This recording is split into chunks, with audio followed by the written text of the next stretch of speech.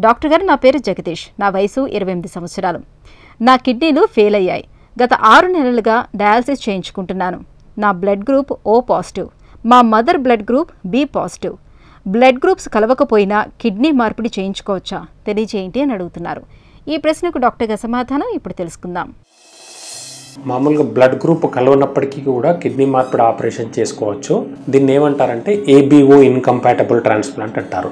దీంట్లో ఏం చేస్తామంటే ట్రాన్స్ప్లాంట్ కంటే ముందు ఇప్పుడు మీరు మీరు చెప్పినట్టు మీది ఓ బ్లడ్ గ్రూప్ మీ మదర్ది B positive blood group so మీ లోపల యాంటీ బి యాంటీబాడీస్ టైటర్స్ ఎంత ఉంది అనేది ముందు చెక్ చేస్తాం ఈ చెక్ చేసిన తర్వాత ఆ టైటర్స్ అనేటి ఎట్లా అంటే one is to four one is to eight one is to sixteen one is to thirty two one is to sixty four ఇట్లా ఉంటాయి. సో ఆ టైటర్స్ని చెక్ చేసి కొంతమందికి one is to one twenty eight ఉంటుంది వన్ కొంతమందికి one is to two sixty four ఉంటుంది.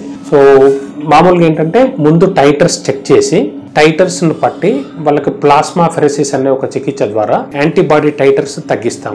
తగ్గి సపోజ్ ఇప్పుడు ఎవరికైతే one is to one twenty eight ఉన్నాయో వాళ్ళకు రెండు కానీ మూడు కానీ ప్లాస్మా ఫెరసిస్ చికిత్స చేసేసి యాంటీబాడీ టైటర్ని వన్ ఇస్ టు సిక్స్టీన్ వరకు తీసుకొస్తాం. సిక్స్టీన్కి తీసుకొచ్చిన తర్వాత మళ్ళీ యాంటీబాడీస్ ప్రొడ్యూస్ కాకుండా రిటుక్స్మాబ్ అనే ఇంజెక్షన్ ఒకటి ఉంటుంది. ఆ ఇంజెక్షన్ ఇస్తాం ముందే. ఇలా చేయడం వల్ల ఆల్మోస్ట్ బ్లడ్ గ్రూప్ మ్యాచ్ అయిన దాని రిజల్ట్స్ ఎలా ఉంటాయో ఈ బ్లడ్ గ్రూప్ కలవకుండా ఏబిఓ ఇన్కంపాటబుల్ ట్రాన్స్ప్లాంట్ రిజల్ట్స్ కూడా ఆల్మోస్ట్ సేమ్ ఉంటాయి. కానీ ఈ బ్లడ్ గ్రూప్ కలవకుండా ఏబిఓ ఇన్కంపాటబుల్ ట్రాన్స్ప్లాంట్లో కొద్ది మందికి first four to six weeks లోపల యాంటీబాడీ మీడియేటెడ్ రిజెక్షన్ అనే ఛాన్సెస్ కొద్దిగా ఎక్కువగా ఉంటాయి.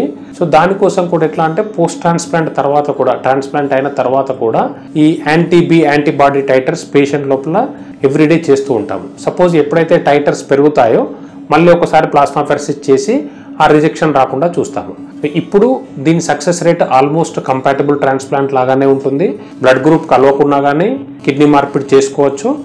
ఒకటి ఏంటంటే ఈ ఎన్ని సెషన్స్ ఆ ప్లాస్మా పరిస్థితి అవసరం పడుతుంది అనే దాన్ని బట్టి ఎంత కాస్ట్ పెరుగుతుంది అనేది చూస్తుంది. నార్మల్గా చూసినట్టయితే కంపాటబుల్ ట్రాన్స్ప్లాంట్తో పోల్చుకుంటే ఏబిఓ ఇన్కంపాటబుల్ ట్రాన్స్ప్లాంట్కి ఒక త్రీ ల్యాక్స్ వరకు అప్రాక్సిమేట్లీ కాస్ట్ ఎక్కువ అయ్యే అవకాశం ఉంటుంది.